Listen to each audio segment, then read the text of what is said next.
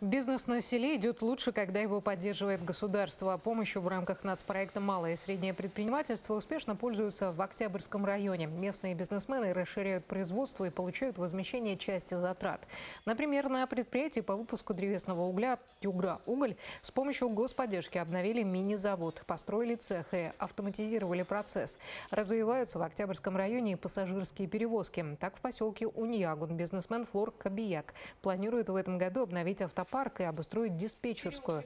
На возмещение затрат бизнесмен получил от фонда поддержки предпринимательства около миллиона рублей. Добавлю, в Октябрьском районе малым и средним бизнесом занимаются более двух тысяч человек. Общими усилиями закрывается потребность жителей по ряду товаров и услуг даже в самых отдаленных поселениях. Предприниматели открывают в муниципалитете пекарни, мастерские, новые промышленные линии.